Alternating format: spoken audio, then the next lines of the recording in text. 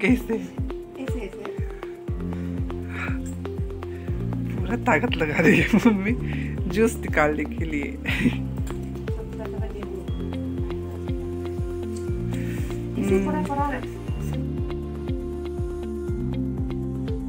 hello everyone welcome back to my YouTube channel सुनतांति blog तो guys अभी सुबह के बज रहे हैं दस और आज है सैटरडे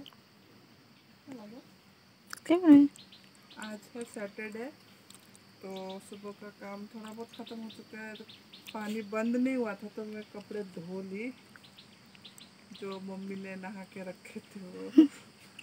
मम्मी ने नहीं, सबने। मैं, पापा, मम्मी सब। और यहाँ पे कल पापा का सर पे कलर कर दिया ना तो उसका ब्लैक कलर लग गया है। अभी मम्मी कर रही थी किचन साफ़ और मैं कपड़े धो रही थी।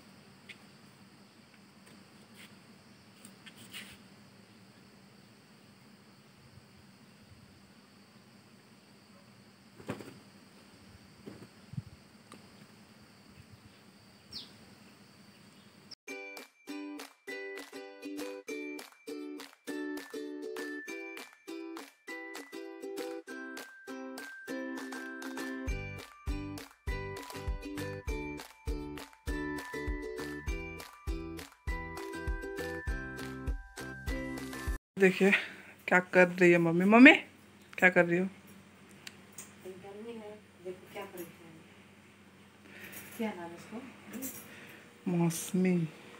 मौसमी की बो, की मौसमी लगा है मौसमी तो बोल रहा दूसरा पसंद की बोले जाने फाड़ी के जूस तो इसका अभी जूस बनेगा तो पानी ठंडा करके रखे दिए ना? अब এটা निकलाई के ठंडा करबी? तो निकलाई दे। जूस। हाँ पीछे। तो मम्मी अभी साफ़ सफ़ाई कर रही थी।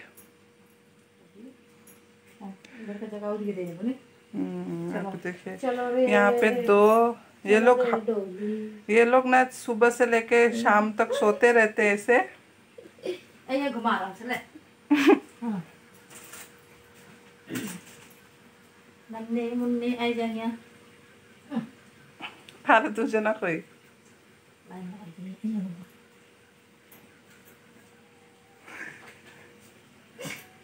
चल अब से आजा आजा आजा आजा आजा ये ले आ जाइए घुमा के चलो भाई हाँ कोना कोना में घुमा ही चल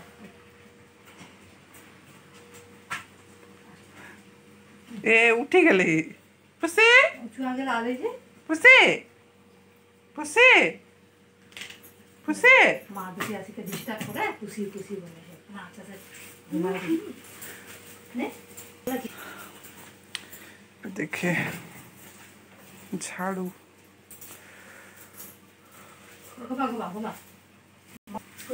सब दे कितना नहीं रहेगा जान? तो फ्रेंड्स अभी मैं आई हूँ बकरी का घर झाड़ू लगा के क्योंकि पापा सोए हैं तो मैंने बोला कि मैं लगा दूँगी। तो इतनी गर्मी लग रही है ना इसलिए पूरा फेस मैंने पानी से धो लिया है। और मम्मी इधर शरबत बना रही है। तो मिक्सी तो खराब हो गया है। हैंड मिक्सी से बना रही है। जूस। तो देखते हैं चलिए। कैसे? ऐसे ऐसे।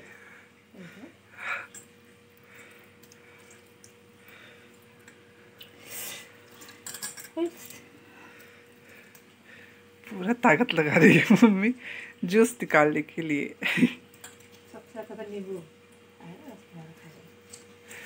इसे थोड़ा थोड़ा रख इसे अरे चल रहा है। एक है तो। नींबू मौसमी टेंगा चिप चिप के बनाने का मेहनत का काम हमको दे दिया है बोला छे माँ ए मैं बकरी का घर झाड़ू लगाने गई थी बोला छे माँ आप बैठिए माँ आप जूस बनाइए मैं खाना बनाऊँगी नहीं तो दे मुझे जूस बना देती थी भात सब्ज़ी बनाई दे ले नहीं नहीं बोलिए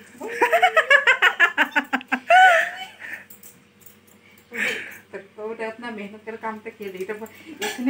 जाए भाई नहीं नहीं यही चीज़ है हमको। तो मम्मी शरबत बना रही है हम बाहर वेट करते हैं।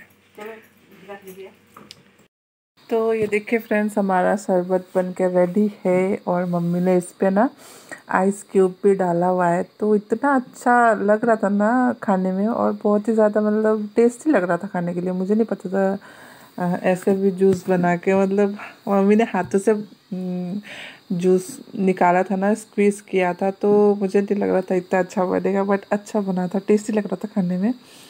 तो ठंडा ठंडा शरबत पी रहे हैं हम सब यहाँ पे, और बहुत ज़्यादा गर्मी थी ना, इस वजह से।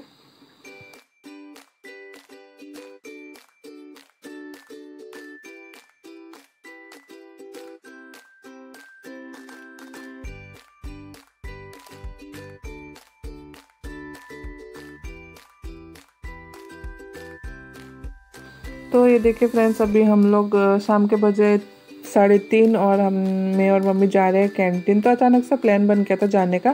तो जा रहे हैं और दिन को तो इतनी गर्मी थी और अभी हल्की हल्की बारिश हो रही थी इस टाइम जब हम जा रहे थे। तो और घर लौट के आते टाइम तो इतनी बारिश हो रही थी ना कि क्या ही बोले। तो चलिए अब फटाफट से चलते हैं कैंटीन तो फ्रेंड्स यहाँ पे देखिए, अभी मैं यहाँ पे बारिश हो रही थी तो इस टाइम मैंने मोमो थोड़ा सा ऑर्डर कर लिया। तो वहाँ पे मैं मोमो खा रही थी और बारिश, रुकने का वेट भी कर रहे थे हम तो थोड़ी बारिश तो रुकी नहीं, हम लोग निकल गए उसके बाद और भीग भीग के आ रहे थे। तो यहाँ पे इतना अच्छा व्यू दिख रहा था ना मुझे, बारिश भी हो रही थी और धूप भी खिली हुई थी तो बहुत अच्छा लग रहा था। तो मैंने सोचा थोड़ा सूट ही कर लेती हूँ बट बारिश में छतरी भी ओढ़ो, ऊपर से दो दो बैग लेना और फिर मेरा ना इस वजह से कैमरा भी बहुत ज़्यादा हिल रहा था। मैं कोशिश तो कर रही थी बट हो नहीं रहा था। तो अगर मैं इधर कर रही थी ना, कैमरे की तरफ़ फोकस कर थी ना, उधर मम्मी भीग रही थी और सामान भी भीग रहा था।